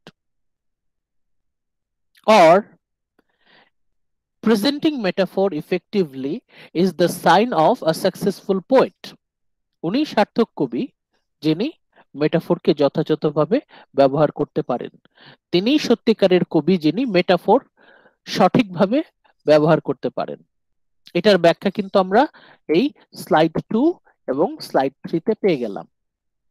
আপনাদের মিডের জন্য এবং ভাইভার জন্য খুব important so metaphor it was the first topic of our lecture metaphor নিয়ে আপনাদের কারও কোনো কনফিউশন আছে? বলেন। এখনই ক্লিয়ার করে যাই. এখন আপনাদেরকে এটা আর একটু রিড আউট করতে হবে একটু ভালো করে বোঝার চেষ্টা করতে হবে। আপনাদের সুবিধার জন্য মূল গুরুত্বপূর্ণ অংশগুলো কিন্তু বোল্ড করা আছে দেখেন। ইম্পর্টেন্ট অংশগুলো আপনাদের সুবিধার জন্য বোল্ড করা আছে। বোল্ড করা যে অংশগুলো ওই অংশগুলো মন দিয়ে লক্ষ্য করবেন। আপনার বোল্ড করা অংশ থেকেই কিন্তু আপনি অ্যান্সারগুলো দিতে পারবেন। হ্যাঁ বল স্যার এখানে যে অ্যারিস্টল বলল যে মেটাফোর যে ভালোভাবে ইউজ করতে পারবে ইফেক্টিভলি সে হবে সাকসেস রাইটার সাকসেস রাইটার কি সে এজন্যই হবে যে সে রিডারকে ফোর্স করতে পারছে মেটাফোর দিয়ে যে you have to think up think করে তোমাকে এটা বুঝতে হবে। এবং তার ইমাজিনেশনটা মেটাফোর হ্যাঁ, বোঝার জন্য হ্যাঁ, যে সে হ্যাঁ। যে ইমাজিন ফোর্স পাচ্ছে এক্স্যাক্টলি গ্রো করবে। এজন্য কি সাকসেসফুল এক্স্যাক্টলি এক্স্যাক্টলি গুড এই যে দেখেন তার আগের স্লাইডে বলছে to engage the reader in his own imaginative world মানে পাঠককে সে উৎসাহ দেবে যে তুমি কল্পনা করো। আমি কল্পনা করেছি। আমার কল্পনার জগতে তারা দুটি, তারা এই দুটো আপাতত, আপাত দৃষ্টিতে আলাদা দুটো বিষয় তারা কানেক্টেড তাদের মধ্যে যোগ- সংযোগ আছে। তুমি তোমার কল্পনা শক্তি দিয়ে বের করো। ঠিক আছে? পর আবার আমরা নেক্সট স্লাইডে কিন্তু আবার বলছি। আবার কিন্তু আমরা বলছি যে এই যে a good metaphor forces us, আমাদেরকে বাধ্য করে। শুধুমাত্র আমাদেরকে অনুপ্রেরণা দেয় না, আমাদেরকে ভাবতে বাধ্য করে। একটা ভালো মেটাফোর আমাদের পাঠকদেরকে চিন্তা করতে বাধ্য করে। To actually position the object together in imaginary but completely probable relationship আমরা যখন কল্পনায় এই দুটো আপাত দৃষ্টিতে আলাদা দুটো বস্তুকে যখন আমরা একত্রিত করব, তখন কিন্তু কেন কবি তাদেরকে একসাথে করলেন? তার পেছনে একটা রহস্য আমরা খুঁজে পাই আর সিক্রেট সেই সিক্রেটই হচ্ছে কবিতার মূল উদ্দেশ্য। আমরা সেই রহস্য যদি সমাধান করতে পারি, তাহলে যে শুধু কবিতা বুঝতে পারব তাই না, আমরা কবিকেও বুঝতে পারব। আমরা তখন আমাদের ইন্টেলেকচুয়ালিটির নেক্সট লেভেলে চলে যেতে পারব। এই হচ্ছে মেটাফোরের গুরুত্ব। অনেকগুলো লেভেলে মেটাফোরের গুরুত্ব আছে। আচ্ছা আমরা এরপরে একটা, আমাদের মেটাফোরটা কিন্তু খুবই গুরুত্বপূর্ণ একটা টপিক ছিল। ওটা আমরা ডাবল স্টার দিয়ে রাখতে পারি ডাবল স্টার আমরা কন্টেম্পোরারি লেক্সিকন এটা হচ্ছে একটু হালকা সাবজেক্ট এটা জাস্ট আমাদের ধারণা রাখার জন্য আমরা একটা রিড আউট দেব। Jannatul Ferdous Jannatul Ferdous Yes, sir. হ্যাঁ স্লাইডটা একটু পড়েন use of contemporary lexicon Um, use of contemporary lexicon. Aristotle points out that the best poetry uses only current and proper words, meaning the contemporary lexicon. When an author resorts to lofty or esoteric language, uh, he alienates the reader.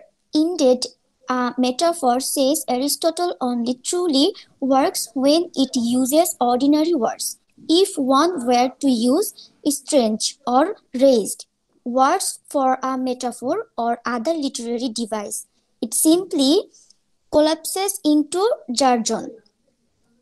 And yet, Aristotle also permits the good poets to um, lengthen lengthen, uh, contract, uh, and alter words to fit his purpose. By playing with ordinary words, the poet creates a distinct language, but at the same time ensures that the reader will maintain clarity. By playing with accepted or ordinary words, the poet can engage the reader at the highest level.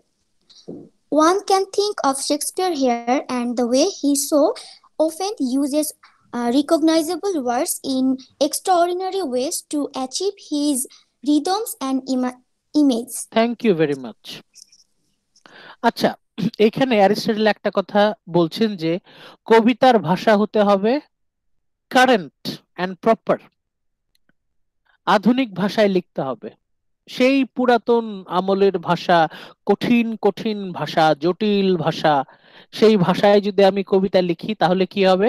পাঠকরা পড়বে না, বুঝতেই পারবে না।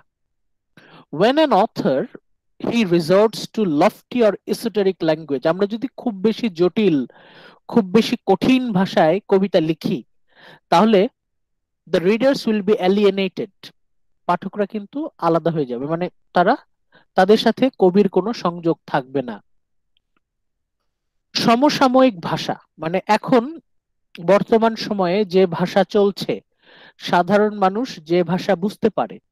সাধারণ মানুষ যে ভাষায় that means the language of a poetry be the common man language yes every people from all the classes can all the classes বড় লোক হোক মধ্যবিত্ত হোক, দরিদ্র শ্রেণি হোক, শ্রমিক শ্রেণি হোক, যে কেউ বুঝতে পারবে। যে কথাটা উইলিয়াম ওয়ার্ডসওয়ার্থ, কোলরিজ তাদের ওই লিরিক্যাল ব্যালান্স বলে গিয়েছেন যে, কবিতার ভাষা হতে হবে সাধারণ মানুষের ভাষা। যে কেউ যেন বুঝতে পারে, যে কেউ বুঝতে পারবে। কবিতার ভাষা হবে হচ্ছে কারেন্ট অ্যান্ড প্রপার যাতে এটা কন্টেম্পোরারি হয়। মানে এই সময়, সমসাময়িক সময়ে সাধারণ মানুষ ব্যবহার করছে সেই ভাষা।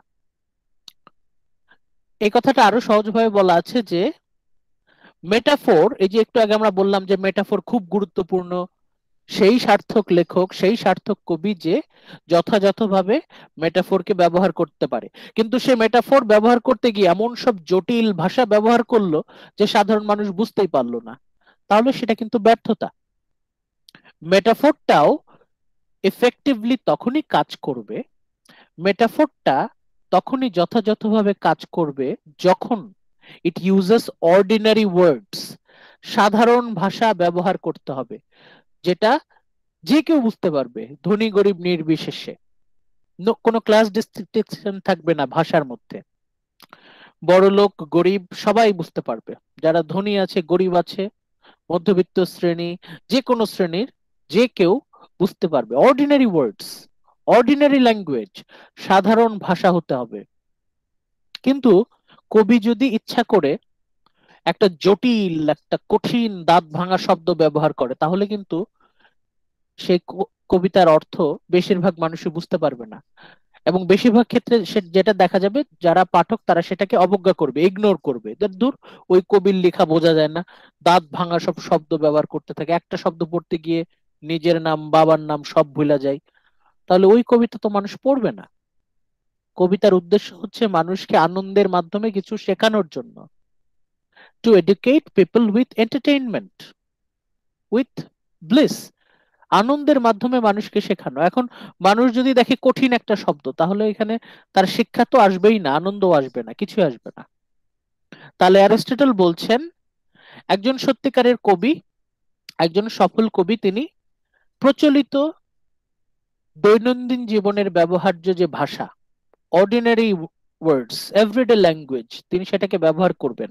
তবে একজন কবির সেই স্বাধীনতা আছে, তিনি চাইলে একটু লেংদেন একটু টেনে লম্বা করতে পারবেন কবিতার ছন্দের প্রয়োজনে। কবিতার ছন্দের প্রয়োজনে অর্ডিনারি ওয়ার্ডসটাকে উনি একটু টেনে লম্বা করতে পারেন লেংদেন করতে পারেন।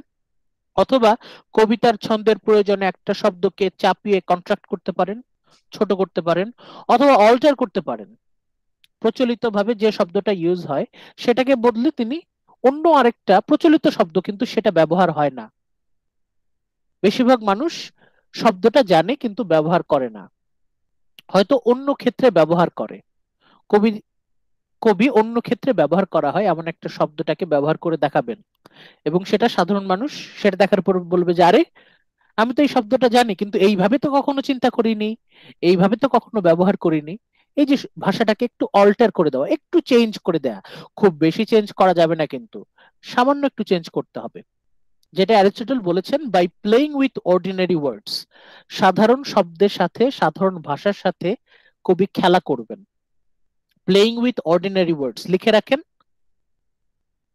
সত্যিকারের কবিকে, কে সার্থক কবি যিনি সাধারণ শব্দের সাথে খেলা করতে পারেন। প্লেইং উইথ অর্ডিনারি ওয়ার্ডস এই শব্দের সাথে খেলতে খেলতেই ওনার ভাষাটা হয়ে যায় unique distinct but at the same time ensure that the reader will maintains clarity মানে কবি হচ্ছে সিম্পলের মধ্যে গর্জিয়াস আমরা একটা কথা বলি না, একটা কথা প্রচলিত আছে না সিম্পলের মধ্যে গর্জিয়াস মানে কবি সিম্পল সিম্পল ওয়ার্ডগুলো এমন ভাবে খেলছেন এমন ভাবে প্লে করছেন যে সিম্পল ওয়ার্ড গুলোই হয়ে যাচ্ছে গর্জিয়াস এবং সাধারণ মানুষ পড়তে গিয়ে অবাক হবে যে, আরে কি সহজ কি সহজ ভাষা, কি সাধারণ ভাষা। কিন্তু এত অসাধারণ ভাবে ব্যবহার হয়ে গেল। Simple words be used extraordinarily সাধারণ শব্দ, সাধারণ ভাষা সেটাকে অসাধারণ ভাবে ব্যবহার করাটাই হচ্ছে কবির সাফল্য।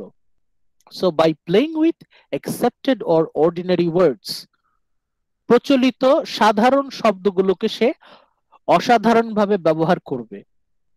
সাধারণ যারা পাঠক, তারা অনুপ্রাণিত হবে যারে আমি তো এই শব্দটা জানি। কিন্তু এই শব্দটা যে এইভাবে ব্যবহার করা যায়, এত চমৎকার ভাবে ব্যবহার করা যায়, তা তো জানতাম না। এইভাবে কবি পাঠককে অনুপ্রাণিত করতে পারে এনগেজ করতে পারে অ্যাট দ্য হাইয়েস্ট লেভেল কবিকে অবশ্যই প্রচলিত এমন ভাষা ইউজ করতে, এমন ভাষা ব্যবহার করতে হবে যাতে সবাই সেটা বুঝতে পারে। খুব অদ্ভুত, কঠিন, পুরাতন, অপ্রচলিত শব্দ ব্যবহার করা ঠিক না। তাহলে কবিতার উদ্দেশ্য ব্যর্থ হবে। কবিতায় প্রচলিত সাধারণ শব্দই ব্যবহার করতে হবে, তবে সেটাকে একটু অসাধারণ ভাবে ব্যবহার করতে হবে। সিম্পলিসিটি ইন গর্জিয়াসনেস সাধারণ ভাষাটাকেই ইউনিক ওয়েতে অসাধারণ ভাবে ব্যবহার করতে হবে। যাতে সাধারণ পাঠক সেটা পড়ে রোমাঞ্চিত হয়। যে আরে এই সাধারণ ভাষা আমি প্রতিদিন ব্যবহার করছি, কিন্তু এটা এত চমৎকার ভাবে ব্যবহার করা হয়। এত সহজ কথা, এত সুন্দর ভাবে বলা যায়, তা তো জানতাম না। তিনি সত্যিকারের কবি, যিনি সহজ কথা, সাধারণ কথা অসাধারণ ভাবে সুন্দর ভাবে বলতে পারেন। তিনি সার্থক কবি। এই কথাটাই অ্যারিস্টটল বলছেন। He is the successful poet who can use ordinary words extraordinarily who can use, who can play with ordinary words extraordinarily and can engage the reader at the highest level. এবং পাঠককে অনুপ্রাণিত করে একদম সাহিত্য বোঝার যে সর্বোচ্চ পর্যায়ে নিয়ে যেতে পারেন। কবিতার ভাষা সাহিত্যের ভাষা হতে হবে প্রচলিত শব্দ অর্ডিনারি ল্যাঙ্গুয়েজ যেটা সবাই বুঝতে পারবে।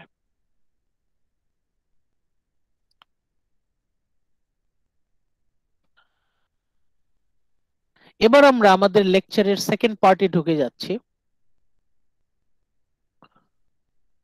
ফারহান ফুয়াদ ফারদিন ফারহান পড়েন তো comparison Uh, comparison the epic poem and the tragedy.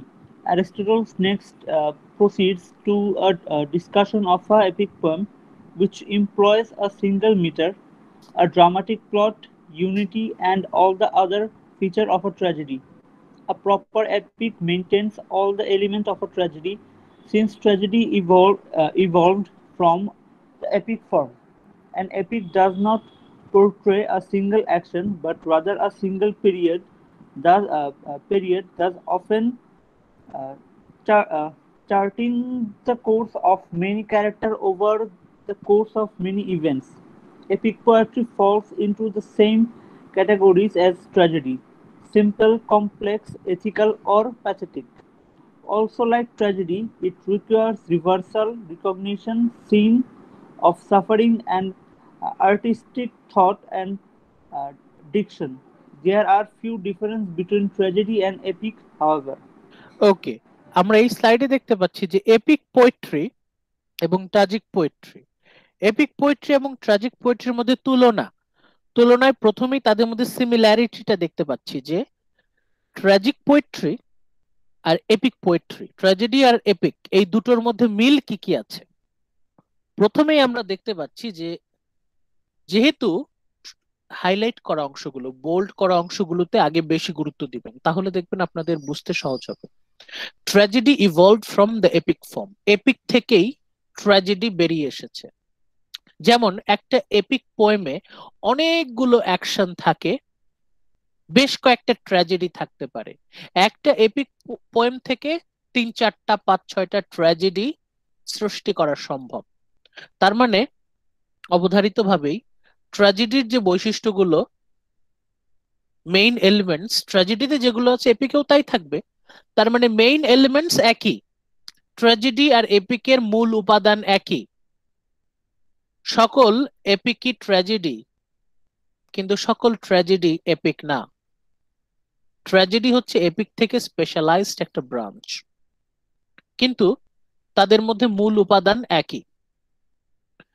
তারপর, epic does not portray a single action ট্র্যাজেডিতে যেমন ফোকাস হচ্ছে একটা অ্যাকশন ওয়ান অ্যাকশন আমরা ট্র্যাজেডিতে পড়ে এসেছি যে একটা সেন্ট্রাল থিম থাকবে সেই সেন্ট্রাল থিমের আলোকে ইনসিডেন্টগুলো সাজানো থাকবে। ওয়ান সিঙ্গেল অ্যাকশন থাকবে ট্র্যাজেডিতে কিন্তু APK it does not portray single action এখানে অনেকগুলো অ্যাকশন থাকবে। অনেকগুলো ক্যারেক্টার একটা নির্দিষ্ট পিরিয়ডকে তারা সিগনিফাই করবে। তাহলে এপিক পোয়েম এবং ট্র্যাজিক পোয়েম দুইটাই কিন্তু অ্যাকশন বেসড ট্র্যাজেডিও অ্যাকশন বেসড এপিক পোয়েমও অ্যাকশন বেসড অ্যাকশন ছাড়া যেমন ট্র্যাজেডি হয় না অ্যাকশন ছাড়া এপিক পোয়েমও হয় না। কিন্তু ট্র্যাজেডিতে থাকবে একটা অ্যাকশন আর এপিকে থাকবে কয়েকটা। ট্র্যাজেডি যেমন চারটা প্রকার আমরা পড়েছি গত ক্লাসের আগের ক্লাসে simple tragedy complex tragedy ethical pathetic simple complex ethical pathetic সেই একই শ্রেণীবিন্যাস, একই ক্যাটাগরি আমরা এপিক পোয়েমেও পাই। এপিক পোয়েমও চার ধরনের। Simple complex ethical pathetic simple মানে কি? এখানে রিকগনিশন অন রিভার্সাল যে কোনো একটা থাকতে পারে, নাও থাকতে পারে। দর্শকদের মনে অল্প সময়ের জন্য ক্যাথারসিস আসতে পারে। টেম্পোরারি ক্যাথারসিস হতেও পারে। কমপ্লেক্স হচ্ছে যখন রিভার্সাল রিকগনিশন প্রপারলি হয় ক্যাথারসিস যখন যথাযথভাবে আসে তখন। এটা হচ্ছে সার্থক সার্থক ট্র্যাজেডি অথবা সার্থক epic poem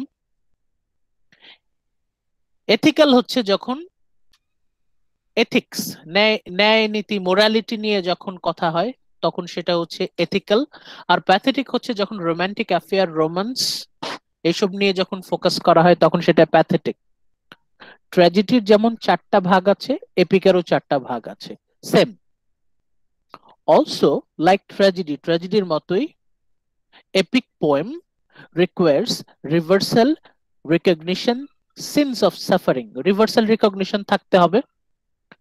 epic পোয়েমেও reversal recognition থাকতে হবে। সিনস অফ সাফারিংস থাকতে হবে। মূল চরিত্রগুলো তারা সাফার করবে। এবং আর্টিস্টিক থট এন্ড ডিকশন এগুলোর যথাযথ সমাবেশ থাকতে হবে। এগুলো হচ্ছে মিল পেলাম। এগুলো হচ্ছে সিমিলারিটিস তুলনা কম্প্যারিজনে আমরা সিমিলারিটিস পেলাম। এখন আমরা পার্থক্যগুলো দেখি। What are the differences contrast এখন আমরা কন্ট্রাস্টটা দেখি।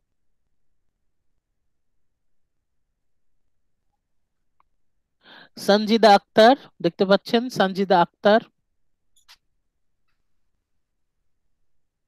জি স্যার হ্যাঁ একটু পড়েন তো পার্থক্যগুলো কি কি epic poem R tragic poem Uh, there are a few differences between tragedy and epic. However, first, an epic poem will not use song or spectacle to achieve is uh, its cathartic effect. Second, epics uh, often cannot be presented at a single sitting, whereas tragedies are usually capable of being brought within a single view. Epic poetry, after all, is not confined to the stage and thus many events and characters can be present simultaneously because of its narrative form. And finally, the heroic measure of epic poetry is hexameter, where uh, tragedy often uses other forms of meter to achieve the rhythms of different character speech. Okay এই তিনটা মূলত পার্থক্য। Epic poetry tragic poetry পার্থক্য কি? প্রথমত first an epic poem will not use song or spectacle to achieve its cathartic effect ট্র্যাজেডিতে আমরা দেখতে পাই ডায়লগগুলো হয় হচ্ছে ড্রামাটিক ডায়লগ এবং ড্রামাটিক ডায়লগগুলোর মধ্যে একটা লিরিক কোয়ালিটি থাকে। ট্র্যাজেডির যে ডায়লগগুলো ক্যারেক্টারগুলো যে ডায়লগ দেয়, তাদের লেখা, তাদের যে ডায়লগগুলো সেগুলোর মধ্যে সুন্দর রিদম থাকে এবং সেগুলো কিন্তু ইজিলি গানের মতো সং এর মতো সেটাকে প্রেজেন্ট করা যায়। এবং ট্র্যাজেডির মূল উদ্দেশ্য কিন্তু সেটাই যে ড্রামাটিক ড্রামাটিক প্রেজেন্টেশন এবং স্পেকটেকল পারফরমেন্স বেসড ট্র্যাজেডি মানেই হচ্ছে সেটা লেখা হয় স্টেজে পারফর্ম করা হবে, এটা চিন্তা করে। ট্র্যাজেডি লেখাই হয় হচ্ছে স্পেকটেকল অথবা পারফরমেন্স করা হবে, এইটা মাথায় রেখে। কিন্তু এপিক পোয়েম যখন লেখা হয়, তখন সেটা হয় হচ্ছে ন্যারেটিভ গল্পের মতো। সেটা কিন্তু এপিক পোয়েম কিন্তু এইটা ভেবে লেখা হয় না যে এটা স্টেজে পারফর্ম করা হবে। ট্র্যাজেডি লেখা হয়, এইটা চিন্তা করে যে এটা স্টেজে পারফর্ম করা হবে। It will be performed in a stage it will be a spectacle এবং dialogues will be dramatic in form songs can be used opera music যেটা হয় ডায়লগগুলো বা মিউজিক্যালের ক্ষেত্রে ডায়লগগুলো মিউজিকে হয়। তাহলে এটা একটা পার্থক্য। সেকেন্ড এপিক্স এর কাহিনী এত বড় হয় যে সেটা আসলে এক বসায় সেটাকে পারফর্ম করানো সম্ভব না।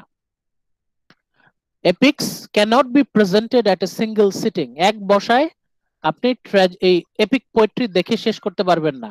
এটা পুরোপুরি পারফর্ম করানো প্রায় অসম্ভব। মানে এটা বিশাল, এত বিশাল কাহিনী।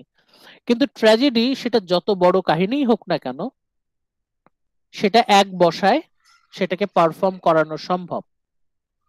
Tragedies are usually capable of being brought within a single view মানে এক বসায় সেটাকে পারফর্ম করানো সম্ভব। মোটামুটি তিন ঘণ্টার মধ্যে উইদিন থ্রি আওয়ার্স ট্র্যাজেডি এটাকে পারফরমেন্স করানো সম্ভব।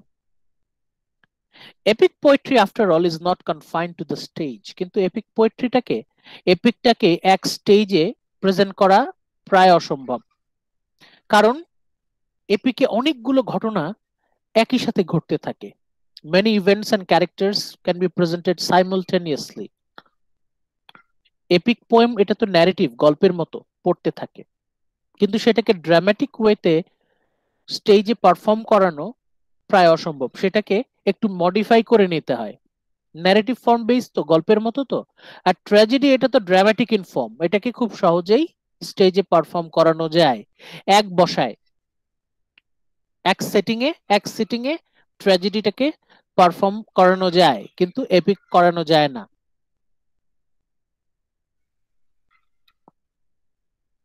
Finally the heroic measure of epic poetry is hexameter epic poetry যখন লেখা হতো, অ্যারিস্টটলের সময় এপিক পোয়েট্রি লেখা মানেই হচ্ছে সেটার একটা স্পেশাল রিদম থাকবে।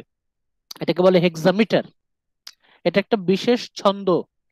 লেখার একটা বিশেষ ছন্দ, মিটার হেক্সামিটার ছয় মাত্রার একটা ছন্দ থাকে, ওই ছন্দের সবগুলো ন্যারেটিভ পুরোটা লেখা থাকে। কিন্তু ট্র্যাজেডি অন্য ফর্মগুলো ইউজ করে। এপিক এপিক পোয়েম ব্যবহার করে হচ্ছে হেক্সামিটার আর ট্র্যাজেডি অন্য অন্য মিটার ইউজ করে। Other forms of meter to achieve rhythms of different character speech ট্র্যাজেডিতে focus থাকে হচ্ছে ডায়লগ ড্রামা ড্রামাটিক ফর্ম যেহেতু, অতএব ডায়লগের ডায়লগগুলো ক্যারেক্টারের ডায়লগগুলো স্পেশাল এমফাসিস দেওয়ার জন্য অন্য বিভিন্ন ছন্দ, অন্য বিভিন্ন মিটার এখানে ব্যবহার করা হয়। তাহলে এখানে পার্থক্য, তিনটা পার্থক্য। প্রথম পার্থক্যটা দেখানো হলো হচ্ছে use of song and spectacle ট্র্যাজেডিতে song গান, সংগীত স্পেকটেকল পারফরমেন্সের উপর গুরুত্ব দেওয়া হয় আর এপিকের ন্যারেটিভের উপর গুরুত্ব দেওয়া হয়। নাম্বার ওয়ান গেল। নাম্বার টু ট্র্যাজেডিটা এক বসায় পারফরমেন্স করানো যায় পারফর্ম করানো যায়, কিন্তু এপিক এক বসায় কমপ্লিট করা যায় না, কারণ এটার কাহিনী থাকে অনেক বিশাল। অনেকগুলো কাহিনী চলতে থাকে, অনেকগুলো অ্যাকশন চলতে থাকে এই জন্য সেটাকে স্টেজে পারফর্ম করানো সম্ভব হয় না। কিন্তু ট্র্যাজেডিতে একটাই অ্যাকশন ড্রামাটিক ইন ফর্ম থাকার কারণে ট্র্যাজেডিটা কিন্তু সিঙ্গেল সিটিং এ সেটাকে স্টেজে পারফর্ম করানো যায়। আর এপিক পোয়েম হেক্সামিটারে আর ট্র্যাজেডি হচ্ছে হেক্সামিটার ছাড়া অন্য বিভিন্ন মিটার ইউজ করা হয়। হেক্সামিটার কেন ব্যবহার করা হয় এপিক পোয়েমে কারণ তখনকার সময়ে ন্যারেটিভ গল্প যখন বলা হতো আমাদের পুঁথির যেমন একটা ছন্দ থাকে না আমাদের পুঁথি পুঁথি শুনছেন না বাংলায়? লোককাহিনী, লোককথায়, পুঁথির নাম শুনেছেন, পুঁথি পাঠ, পুঁথি।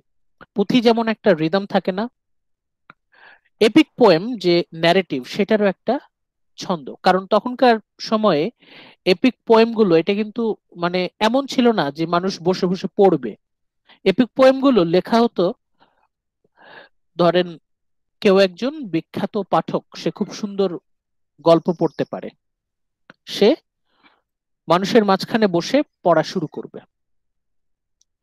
এখন সেটা যদি ছন্দে লেখা হতো তাহলে সেটা কিন্তু শুনতে ভালো লাগে শ্রুতি মধুর হয়। এপিক পোয়েমটা যাতে শ্রুতি মধুর হয় এই জন্য হেক্সামিটার ব্যবহার করেছেন যারা এপিক রাইটার তারা। আর ট্র্যাজেডি যারা তৈরি করেছেন তারা যেহেতু ডায়ালগের উপর গুরুত্ব দিয়েছেন পারফরমেন্সের উপর গুরুত্ব দিয়েছেন, তারা কিন্তু অন্য অন্য মিটারের অন্য ফর্মগুলো তারা ব্যবহার করেছেন। ট্র্যাজেডিতে হচ্ছে ডায়ালগের যে ইফেক্ট সেটাকে প্রেজেন্ট করাটা বেশি জরুরি। এখানে একটু বোঝার ব্যাপার আছে। তার মানে আচ্ছা আরও কিছু বৈশিষ্ট্য আছে তা করবেন হচ্ছে। নাইম আক্তার জয়া। জয়া দেখতে পাচ্ছেন?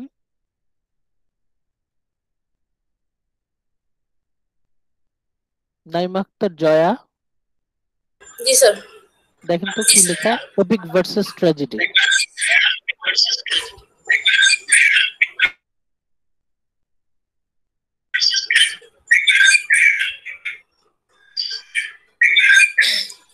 Epic versus tragedy. Epic poetry unfolds in a narrative form. Tragedy depends on staging for its cathartic effect. Epic poetry has no need for spectacle because it gains its design for a large span of time. Tragedy, however, is limited in its time, fra- time frame, usually to usually to a single day, and thus the spectacle of suffering and horror is necessary for the catharsis. Okay এই পার্থক্য। প্রথম পয়েন্টটা কি? Epic poetry হচ্ছে গল্পের মতো। Epic poetry it's narrative in form যেমন আমরা হোমারের ইলিয়াডে দেখতে পেয়েছি। ন্যারেটিভ হেক্সামিটারে লেখা ন্যারেটিভ গল্পের মতো। আর ট্র্যাজেডি এটা মূলত ডিপেন্ড করছে হচ্ছে স্টেজে পারফর্ম করানো হবে এটার উপরে। ক্যাথার্টিক ইফেক্ট এমন ভাবে স্টেজে পারফর্ম করানো হবে যেন দর্শকের মনে ক্যাথারসিস আসে। ফিয়ার এন্ড পিটি পারজেশন হয়। তাহলে এপিক পোয়েট্রি যেহেতু গল্পের মতো, হয় মানুষজন নিজে নিজে পড়বে অথবা কেউ একজন পড়ে শোনাবে, সেক্ষেত্রে এপিক পোয়েট্রি কিন্তু স্পেকটেকলের উপর কোনো গুরুত্ব নাই। কারণ এটা অনেক সময় ধরে অনেক লম্বা একটা গল্প চলছে। It gains it design from a large span of time বছরের পর বছর কাহিনীটা চলছে। আর ট্র্যাজেডি এটার টাইম ফ্রেমটা লিমিটেড একদিনের মধ্যে কাহিনী শেষ হয়ে যাবে। কাহিনী একদিনের মধ্যেই limited in one day one single day and thus, spectacle of suffering and horror is necessary for catharsis যেহেতু একদিনের মধ্যে কাহিনীটা শেষ হয়ে যাবে, অতএব সাফারিং এন্ড হরর সাফারিংটা কিন্তু প্রপারলি পারফর্ম করাতে হবে। ভিজুয়ালাইজ করাতে হবে। যেটা গত ক্লাসে বলেছিলাম ভিজুয়ালাইজেশন ইজ ইম্পর্টেন্ট দর্শকের সামনে ক্যারেক্টাররা যেন সাফার করে প্রপারলি সাফার করে। স্পেকটেকল পারফরমেন্সটার উপর গুরুত্ব দেয়া হচ্ছে। ট্র্যাজেডিতে হচ্ছে পারফরমেন্সের উপর গুরুত্ব দেয়া হচ্ছে। এপিকে কিন্তু পারফরমেন্সের উপর গুরুত্ব দেয়া হচ্ছে না, কারণ এটা গল্পের মতো। এই হচ্ছে আমাদের এপিক ভার্সেস ট্র্যাজেডির মধ্যে পার্থক্য। আমরা সিমিলারিটি পড়লাম। কম্প্যারিজন কন্ট্রাস্ট এপিক পোয়েম এবং ট্র্যাজিক কীভাবে আলাদা? ট্র্যাজেডি পোয়েম এবার আমরা কিছু বিষয় আলোচনা করেছিলাম গত ক্লাসের আগের ক্লাসে।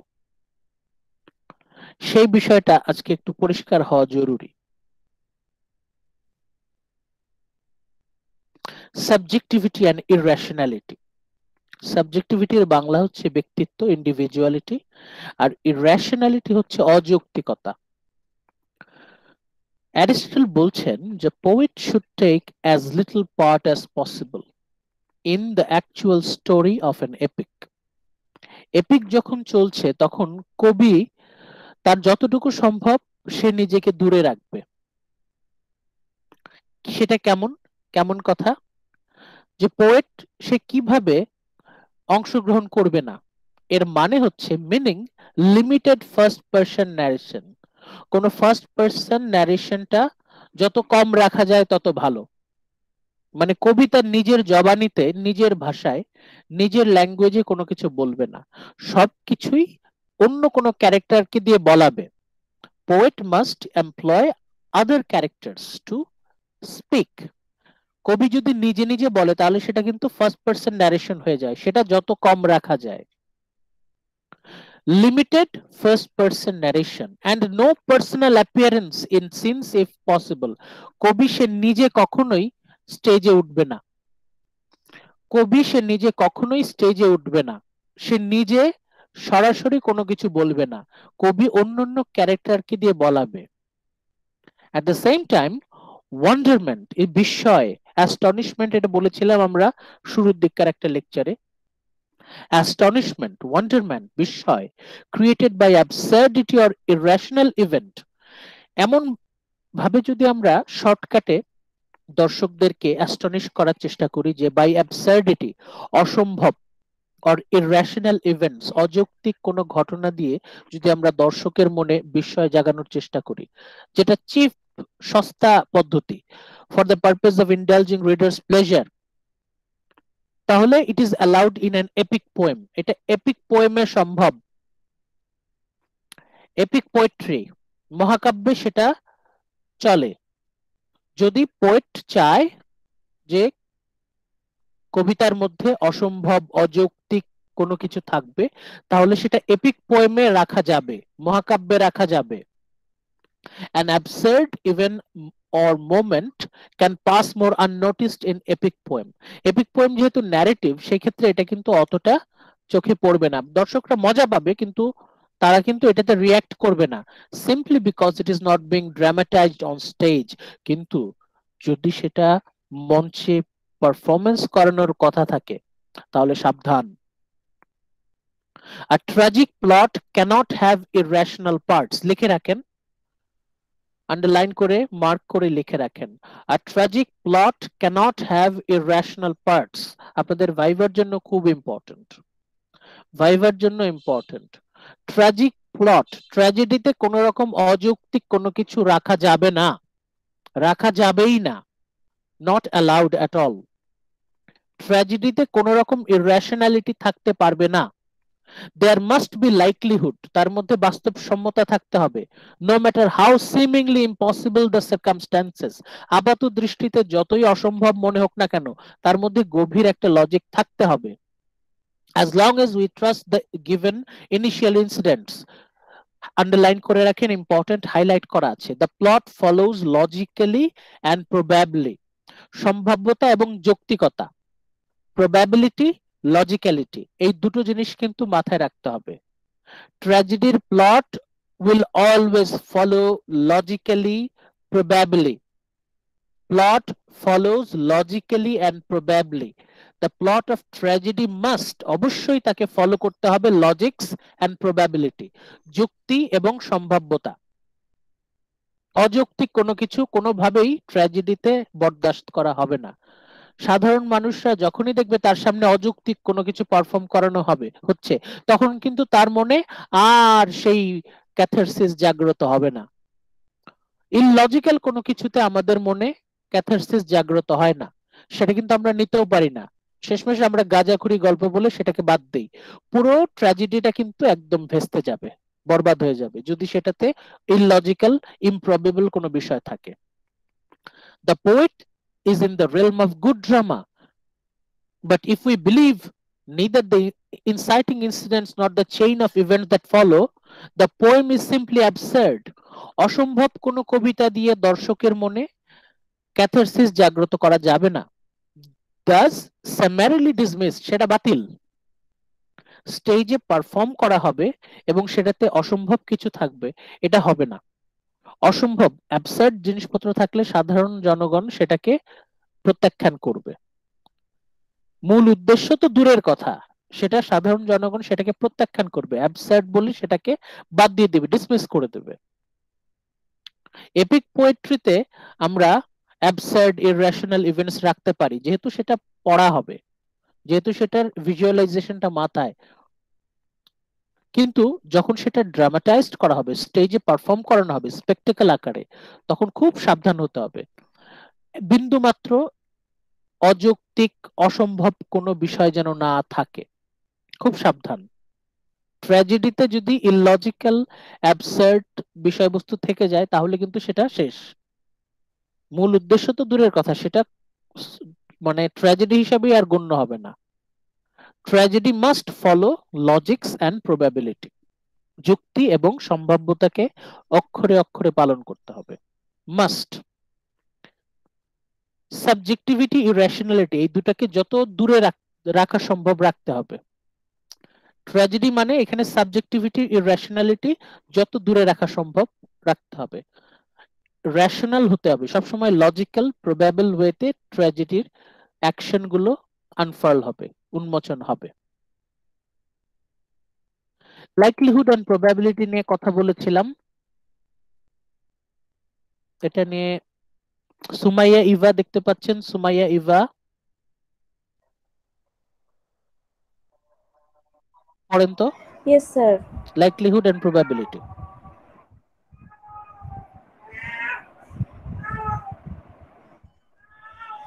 Likelihood and probability.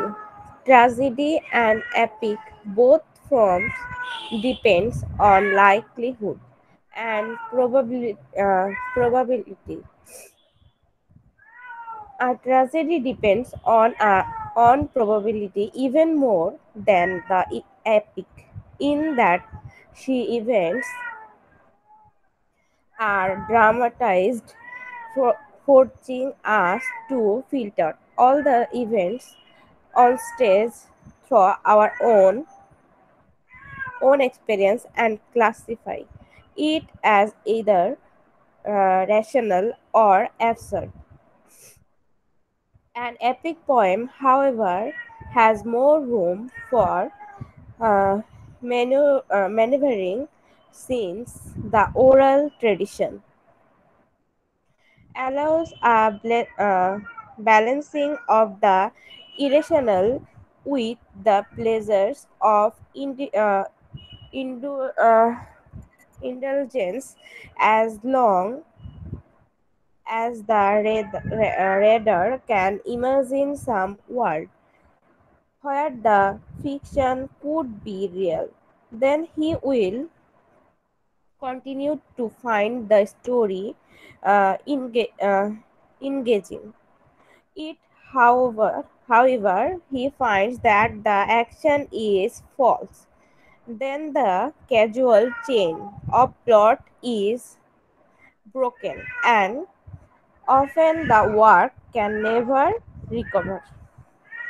Okay এখানে আমরা গুরুত্বপূর্ণ পয়েন্টগুলো হাইলাইট করা আছে দেখেন লাইকলিহুড এন্ড প্রবাবিলিটি লাইকলিহুড বলতে প্রচলিত ভাবে যেভাবে ঘটে থাকে লাইকলিহুড বাস্তব যেরকম আমরা লক্ষ্য করি বাস্তব সম্মতা আর কি আর প্রবাবিলিটি মানে হচ্ছে সম্ভাব্যতা। ট্র্যাজেডি এপিক এই দুটোতে লাইকলিহুড এন্ড প্রবাবিলিটির উপর অনেক বেশি গুরুত্ব দেওয়া হয়েছে। বাস্তব সম্মত হতে হবে ট্র্যাজেডি হোক বা এপিক হোক, সেটাকে বাস্তব সম্মত হতে হবে এবং তাতে সম্ভাব্যতা থাকতে হবে। Tragedy depends on probability even more than epic এপিকের থেকেও বেশি সেন্সিটিভ হচ্ছে ট্র্যাজেডি এখানে কিন্তু প্রবাবিলিটি থাকতেই হবে। কোন রকম অ্যাবসার্ড ইররেশনাল ইললজিক্যাল কোনো কিছু রাখা যাবেই না, যেটা গত স্লাইডে বললাম। ইললজিক্যাল অ্যাবসার্ড কোনো কিছু রাখা যাবে না, কোনো কিছুই রাখা যাবে না। সবকিছু যেন বাস্তবসম্মত হয়, তার জন্য লজিক থাকে। যখনই আমরা ট্র্যাজেডি দেখি, তখন আমরা ফিল্টার করে ফেলি। আমরা ছেকে ফেলে দেই। If something is rational or absurd যখন আমরা ট্র্যাজেডি দেখছি ট্র্যাজেডি পারফর্ম স্টেজে পারফর্ম হচ্ছে, আমরা এনজয় করছি, তখন কিন্তু আমার ব্রেন সিগন্যাল দিচ্ছে, ও যা ঘটছে এটা হচ্ছে রেশনাল রেশনাল যদি হয়, তাহলে সেটা কিন্তু আমরা নর্মালি নিব। আর যদি ইললজিক্যাল হয়, তাহলে কিন্তু অ্যাবসার্ড বলে সেটা আমরা বাতিল করে দেব। খুব মানে খুব সেন্সিটিভ এটা, যে ট্র্যাজেডিতে কোন রকম অ্যাবসার্ড ইললজিক্যাল কোনো বিষয় রাখাই যাবে না। ট্র্যাজেডিতে যা কিছু থাকবে তার জন্য বাস্তবসম্মতা, তার জন্য যৌক্তিকতা থাকে। এপিক পোয়েম যেহেতু বেশিরভাগ সময় পড়ার জন্য, পড়ে আনন্দ নেয়ার জন্য, তখন সেখানে কিন্তু একটা ইররেশনালিটির একটা ব্যালেন্স রাখা যেতে পারে। এপিক পোয়েমে কিছু ইররেশনাল এলিমেন্টস রাখা যেতে পারে ফর প্লেজার্স অফ ইন্টেলিজেন্স মানুষ যেন মনের আনন্দে ওই ওই ইন্টেলিজেন্স ওই মজায় মজায় পড়তে থাকে। পড়ছি, যখন পড়ছি তখন কিন্তু ওই ইললজিক্যাল অ্যাবসার্ড বিষয়গুলো আমাদের আনন্দ দেয়। When we are reading or we are listening, then those irrational, absurd things, it gives us delight. আমাদের অন্যরকম এক আনন্দ দেয়। যতক্ষণ পর্যন্ত আমরা পড়ছি বা শুনছি ততক্ষণ পর্যন্ত ঠিক আছে। কিন্তু যখনই সেটা স্টেজে পারফর্ম করা হবে খুব সেন্সিটিভ যখনই সে তার স্টেজে পারফর্ম করা হবে, তার মধ্যে যেন বিন্দুমাত্র অযৌক্তিক কোনো কিছু না থাকে, আমাদের ব্রেন কিন্তু রিয়াক্ট করে। অডিয়েন্স যদি দেখে যে মঞ্চে স্টেজে যেটা পারফর্ম করানো হচ্ছে, যেটা ভিজুয়ালাইজ করানো হচ্ছে স্পেকটেকলে যদি কোনো মিথ্যা বা অযৌক্তিক কোনো কিছু থাকে, তাহলে the causal causal chain of plot is broken পুরো যে কাহিনীটার যে ইউনিটি পুরো যে ডেফিনেটিভ স্ট্রাকচার সেটা কিন্তু ভেঙে পড়বে। মানে বেসিক এলিমেন্টস একদম নড়বড়ে, একদম ভাঙাচোরা অবস্থা হয়ে যাবে। And often the work can never recover tragedy কিন্তু ব্যর্থ হয়ে যাবে। ট্র্যাজেডিতে যদি ইললজিক্যাল কোনো বা ইরেশনাল কোনো পার্ট থাকে, তাহলে কিন্তু পুরো sequence of events chain of action causal chain of plot এটা কিন্তু নষ্ট হয়ে যাবে। ইট উইল বি ব্রোকেন তাহলে আমরা লাস্ট দুই লেকচারে আমরা কি বলতে চেয়েছি? লাস্ট দুই লেকচার লাস্ট দুই পার্টে আমরা এই কথাটাই বলতেছি সহজ কথায়। এপিক পোয়েমে ইললজিক্যাল ইরেশনাল অ্যাবসার্ড এলিমেন্ট থাকতে পারে। কিন্তু ট্র্যাজেডিতে ট্র্যাজিক পোয়েট্রিতে কোনো ইললজিক্যাল অ্যাবসার্ড এলিমেন্ট থাকতে পারবে না। নেভার ট্র্যাজেডি সবসময় বাস্তবসম্মত হতে হবে। লাইকলিহুড থাকতে হবে প্রবাবিলিটি থাকতে হবে। লজিক ফলো করবে, সবসময় লজিক ফলো করবে। অসম্ভব, অবাস্তব কোনো কিছু ট্র্যাজেডিতে আনা যাবে না। অবাস্তব কোনো কিছু স্টেজে পারফর্ম করানো যাবে না। আমরা যখন পড়ছি বা শুনছি, তখন ইললজিক্যাল অ্যাবসার্ড জিনিসপত্র আসতে পারে। তখন সেটা আমাদের অন্যরকম আনন্দ দেয়। কিন্তু যখন আপনি স্টেজে পারফর্ম করাচ্ছেন তখন কিন্তু আপনি ইললজিক্যাল জিনিসপত্র নিয়ে আসলে কিন্তু দর্শকের মনে আর ক্যাথারসিস জাগ্রত হবে না। Catharsis will never be fulfilled অতএব যে মূল উদ্দেশ্য সেটা কিন্তু ব্যর্থ হবে। এই হচ্ছে আমাদের লাস্ট পার্ট তাহলে আমাদের আজকের যে লেকচার আমাদের লেকচারের আজকে দুইটা বড় পার্ট আছে আর দুটো ছোট পার্ট আছে। প্রথম বড় পার্ট কি? মেজর পয়েন্টগুলো কি? যেগুলো আমাদের মিড টার্মের জন্য এবং ভাইবার জন্য দুটোর জন্যই কাজে লাগবে। বড় ইস্যুগুলো হচ্ছে metaphor number one and compare and contrast between epic and tragedy এটা হচ্ছে দুটো বড় পার্ট এটা আপনাদের মিডের জন্য ভাইবার জন্য ইম্পর্টেন্ট আর আপনাদের শুধু ভাইবার জন্য দুটো শর্ট পয়েন্ট আছে। একটা হচ্ছে ইউজ অফ কন্টেম্পোরারি লেক্সিকন আর আরেকটা হচ্ছে subjectivity and irrationality likelihood and probability এটা। এপিক পোয়েমে আমরা ইররেশনাল ইললজিক্যাল এলিমেন্ট রাখতে পারি, কিন্তু ট্র্যাজেডিতে কোনোভাবেই ইললজিক্যাল অ্যাবসার্ড কোনো কিছু রাখা যাবে না। Tragedy will always follow logic and probability যদি ইললজিক্যাল কোনো কিছু ঢুকে যায়, তাহলে কিন্তু ট্র্যাজেডি ব্যর্থ। Tragedy is failed dismissed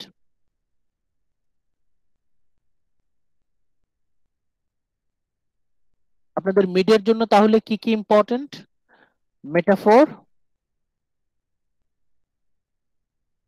comparison and contrast between epic and tragedy.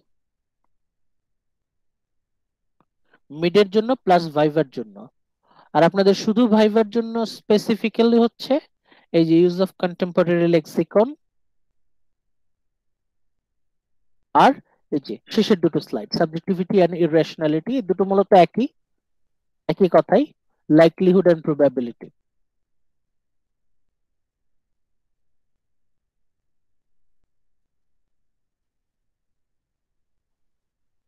আপনাদের যদি ক্লাস থাকে, তাহলে আপনারা লিভ নিতে পারেন, আর যদি আপনাদের আজকের লেকচারের উপর কোনো প্রশ্ন থাকে, জিজ্ঞেস করতে পারেন। যদি কোনো পার্ট আরও অ্যানালিসিসের দরকার হয় আমাকে বলতে পারেন।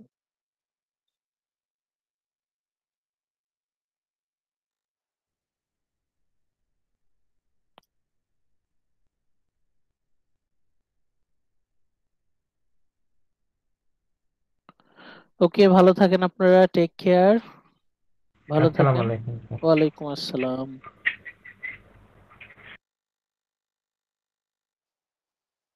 Thank you